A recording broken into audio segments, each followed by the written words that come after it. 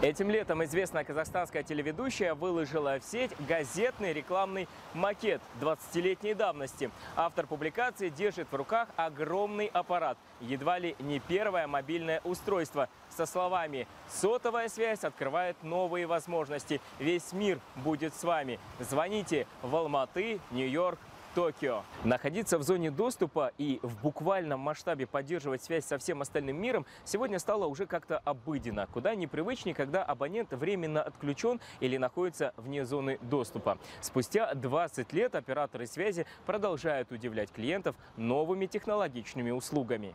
От широкополосного скоростного интернета и мобильных сервисов до универсального номера. Кстати, последний проект – это совместный продукт двух компаний. Он очень интересный. Но сегодня не только о нем. Здравствуйте, меня зовут Алгат Куспаев, и мы по-прежнему в умном городе.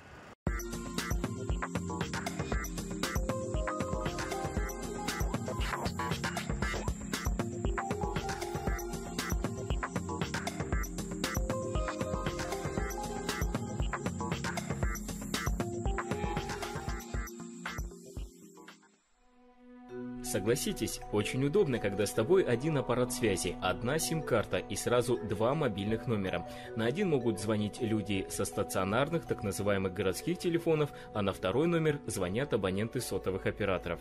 Похоже, услуга понравится владельцам предприятий, топ-менеджерам и сервисным службам. Кстати, все тем же деловым бизнесменам, шефам и остальным вечно занятым родителям следует рассказать о другой интересной и весьма полезной функции от национального оператора связи. Жительница столицы Райхан Бекниязова дорожит работой, но еще больше любит и переживает за своих маленьких детей, на которых, как правило, остается немного времени. Но малыши не скучают. Они, как, впрочем, и другие современные дети, с раннего возраста знают, чем себя занять, как разблокировать родительский девайс и найти развлечения в сети. Да, у меня двое детей, 7 а, лет и 5 лет. Это самый такой активный возраст, когда начинают смотреть все, во все сайты, во все рекламы кликать, нажимать. Мы очень активные пользователи всего интернета. YouTube — это наша слабость, это, это все для нас. YouTube и особенно видеоигры. Тоже но онлайн они играют спокойно. Они смотрят клипы, как зарубежные, так и отечественные, российские. Там тоже как бы немного хорошего, есть и негатив, поэтому и огородить их как бы нельзя, потому что это музыка тоже в какой-то степени развития. Для нынешнего поколения детей планшеты больше, чем просто техника. Эти устройства и виртуальная сеть в буквальном смысле стали для них лучшими друзьями, заменили любящих родителей и строгих нянь. Сегодня любой двухлетний ребенок знает, как разблокировать смартфон, выйти в интернет, найти там любимый мультик и посмотреть другие интересные ролики. Вспоминается старая поговорка «Чем бы дитя не тешилось, лишь бы не плакало». А она появилась гораздо раньше новомодных гаджетов. Тогда-то и слов таких не знали, как смартфон или сенсор. Это возможно и хорошо. Остановить технический прогресс невозможно. Не хочется и собственного ребенка тормозить в развитии. Но вот фильтровать виртуальный контент нужно и можно, благодаря специальной родительской программе в интернете очень много негативного влияния на наших деток маленьких. Поэтому, чтобы сберечь э, наших детей, Казахтелеком запустил услугу «Родительский контроль». Данная услуга предоставляет вам возможность э, контролировать, а также фильтровать ненужный вам контент, который будет отрицательно влиять на ваших детей. А, каким образом данная услуга подключается? Если вы абонент, вы можете зайти в личный кабинет, подключиться к данной услуге, выбрав три определенные степени защиты. Первая степень – это до 7 лет, очень высокая степень фильтрации.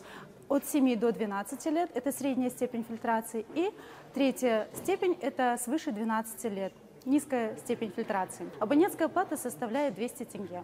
Национальный оператор связи осуществляет родительский надзор по принципу так называемых белых листов. Есть еще и черные листы, то есть черные списки, куда, понятное дело, вносятся ссылки запретных ресурсов.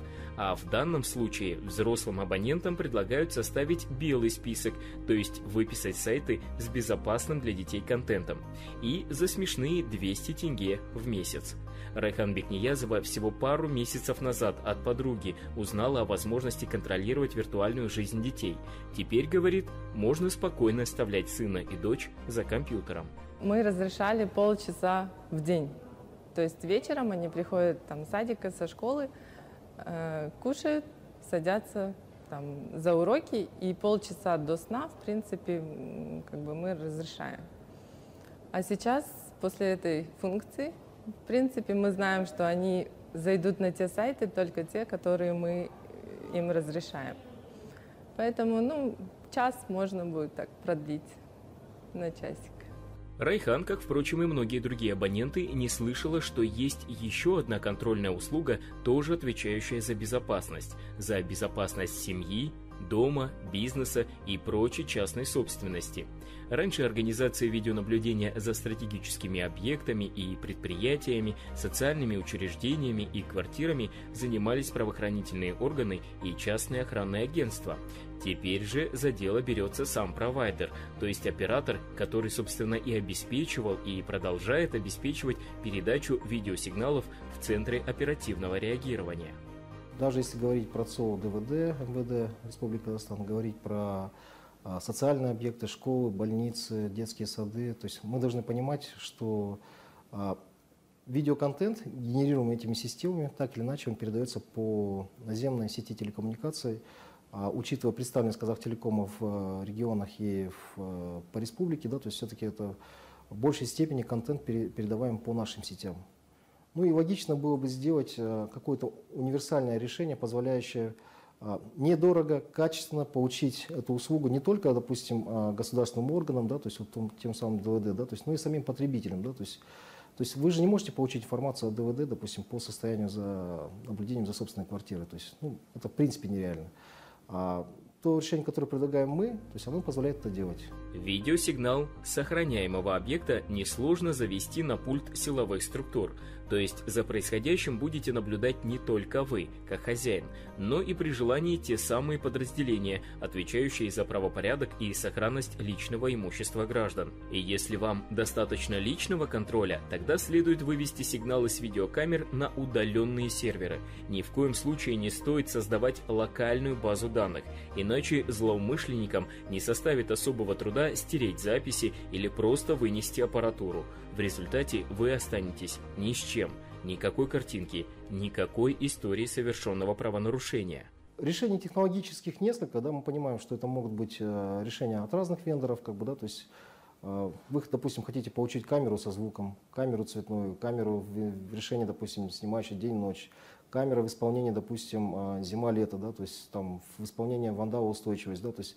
и эти решения варьируются от стоимости, если не ошибаюсь, бытовая камера может стоить от 20 долларов, да, то есть и кончая до профессиональных камер, да, то есть с функцией самонаведения, да, то есть с ночной съемкой, с работой при минус 50 градусов до стоимости 8-9 а, тысяч долларов. Да, то есть и это все зависит от той задачи, которую вы ставите перед собой. Если мы говорим про решение уровня бытовое, то есть именно домашнего использования, да, то стандартное подключение в интернет – стандартная камера, а, не требующая специальных условий эксплуатации, как бы, да, и, соответственно, то есть э, это достаточно бюджетно, я думаю, что это не дороже 15 тысяч, 18 тысяч тенге.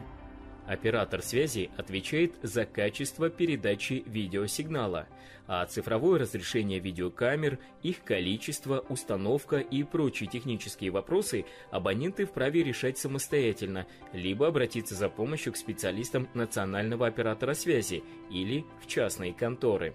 И еще – Услуги лучше оплачивать на сайте. Зачем выходить из дома или отпрашиваться с работы, бежать в отделение, занимать очередь или платить по 2% за обслуживание через терминал? Представляете, цена вопроса 200 тенге. 200 тенге стоит ваша семейная информационная безопасность. 200 тенге за то, чтобы контролировать виртуальные интересы ребенка.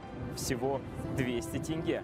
Это была программа «Умный город». Надеюсь, вы уже скачали на планшеты и смартфоны мобильное приложение телеканала 24 КЗ. Установите обязательно и внесите нас в белый лист поиска. Поверьте, 24 КЗ передает нужную информацию. Мы делимся исключительно полезными советами и технологиями умного города. Так что ждите и смотрите. До встречи. Пока.